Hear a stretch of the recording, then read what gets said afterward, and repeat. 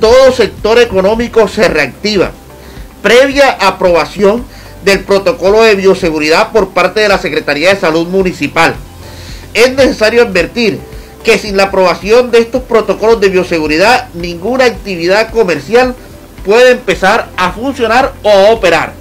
Así que Juan, mira, tenemos que tener el protocolo, lo tenemos que entregar a la Secretaría de Salud Municipal, la Secretaría lo aprueba y de una puede arrancar. Por ejemplo, eh, una línea de transporte, no digamos el nombre, una línea de transporte.